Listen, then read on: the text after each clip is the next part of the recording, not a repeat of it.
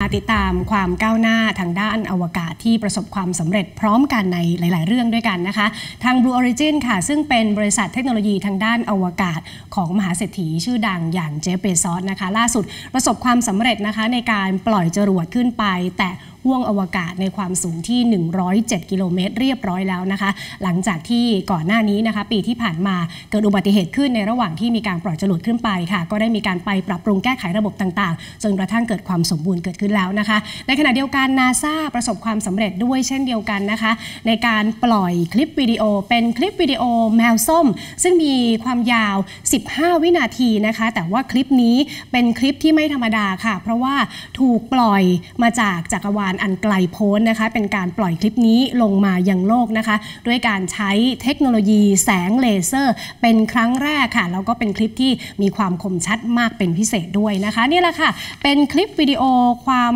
คมชัดสูงเป็นพิเศษ มีความยาว 15 วินาทีด้วยกันนะคะ ของเจ้าแมวเหมียวที่มีชื่อว่าเทเทอร์สค่ะเทเทอร์สเป็นแมวลายส้มนะคะ ที่กำลังวิ่งไล่ตามจุด แสงสีแดงบนโซฟา คือดูดูไปมันก็เป็นคลิปของแมวส้มที่เล่นสนุกเล่นซนตามธรรมดาทั่วไปค่ะ แต่สิ่งที่ไม่ธรรมดาเลยนะคะ ก็คือว่าคลิปนี้ถูกส่งมาจากยานสำรวจดาวเคราะห์น้อย ภารกิจไซคี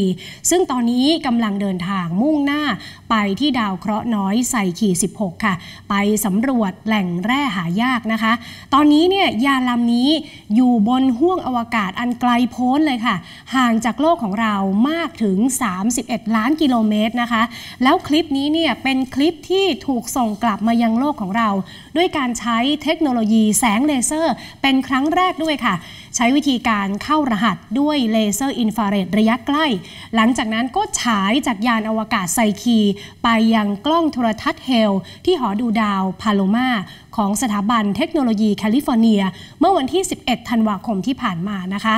ภาพวิดีโอแต่ละเฟรมแต่ละเฟรมที่ถูกส่งมาค่ะ ได้รับการถ่ายทอดสดจากห้องปฏิบัติการขับเคลื่อนด้วยไอพ่นของนาซาที่เมืองพาซาดีนาของรัฐแคลิฟอร์เนีย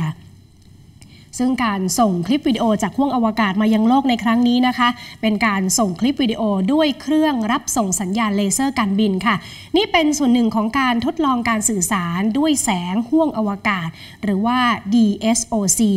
นักวิทยาศาสตร์เขาเชื่อว่าเทคโนโลยีนี้ล่ะค่ะ จะสามารถใช้ในการส่งข้อมูล ส่งภาพ ส่งวิดีโอได้อย่างรวดเร็วในอนาคตนี้นะคะ ในขณะที่มนุษย์ของเราพยายามที่จะก้าวข้ามขีดจำกัดต่างๆ ของการสำรวจอวกาศด้วยการออกผจญภัย ไปยังสถานที่ต่างๆ มากขึ้น ยกตัวอย่างเช่น ดาวอังคารเป็นต้นค่ะ ก็จะช่วยร่นระยะเวลาของการสื่อสารให้รวดเร็วมากยิ่งขึ้นนะคะ จากเดิมที่การสื่อสารระหว่างโลกกับยานอวกาศ หรือกับยานสำรวจต่างๆเนี่ยอาจจะต้องใช้เวลานานหลายชั่วโมง หรืออาจจะหลายวันด้วยซ้ำไป ก็จะทำให้การรับส่งข้อมูลเนี่ยอาจจะล่าช้าเกินไป หรืออาจจะไม่ทันตามระยะเวลาที่ต้องการ แต่ว่าคลิปวิดีโอน้องแมวส้มที่ส่งมายังโลกของเราด้วยเทคโนโลยีแสงเลเซอร์ที่ว่านี้นะคะ ใช้เวลาส่งเพียงแค่ 101 วินาทีเท่านั้นค่ะ เร็วกว่า 10 ถึงประมาณ 100 เท่าของการสื่อสารด้วยคลื่นวิทยุแบบเดิมเลยทีเดียวนะคะ นี่เป็นการพลิกโฉมหน้าของการส่งข้อมูลจากห้วงอวกาศอันไกลโพ้น กลับมายังโลกของเราด้วยเทคโนโลยีแสงเลเซอร์ ซึ่งจะถูกนำมาพัฒนาเพื่อใช้ต่อยอดในการค้นคว้าหาความรู้จากห้วงอวกาศในอนาคตต่อไปด้วยค่ะ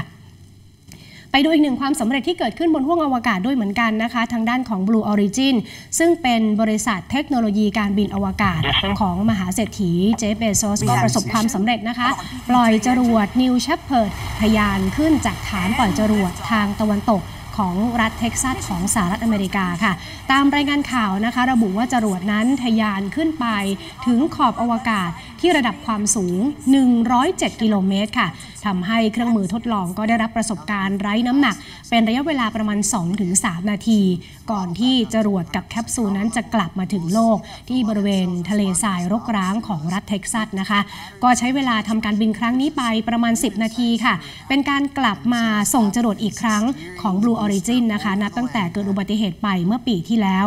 ทาง Blue Origin เนี่ยบอกว่าก็การส่งจรวดในครั้งนี้เนี่ยไปพัฒนาไปปรับปรุงกันใหม่ค่ะ ทั้งการออกแบบหัวฉีด แล้วก็ห้องเผาไหม้เรียนรู้จากความผิดพลาดที่ผ่านมานะคะ จนทำให้การปล่อยจรวดครั้งนี้ประสบความสำเร็จได้ซึ่งทาง Blue Origin ก็ตั้งเป้านะคะ ที่จะปล่อยจรวด New Shepard ในภารกิจ NS 24 หรือการบินครั้งที่ 24 ของจรวด New Shepard ในเที่ยวบินไร้คนขับ บรรทุกสิ่งของทางวิทยาศาสตร์ 33 ชิ้น งานวิจัย 38,000 ชิ้น รวมทั้งสัมภาระอื่น ๆ ไปสู่ขอบอวกาศในแนวตั้ง ซึ่งปัจจุบันนี้ค่ะ จรวด New Shepard นี้ทำการบินไปแล้วมากกว่า 22 ครั้งนะคะ แล้วก็พาผู้โดยสารขึ้นไปท่องเที่ยว แตะขอบอวกาศมาแล้วเนี่ย 31 คนด้วยกันค่ะ ขอบพระคุณสำหรับการติดตามรับชม TNN ข่าวค่ำนะคะ อย่าลืมกด subscribe กดกระดิ่ง กดไลค์ กดแชร์ ในทุกช่องทางออนไลน์ของ TNN ช่อง 16 ด้วยค่ะ คุณผู้ชมจะได้ไม่พลาดการติดตามรับชมรายการข่าวสดๆ รวมถึงคลิปวิดีโอต่างๆ ที่น่าสนใจด้วยค่ะ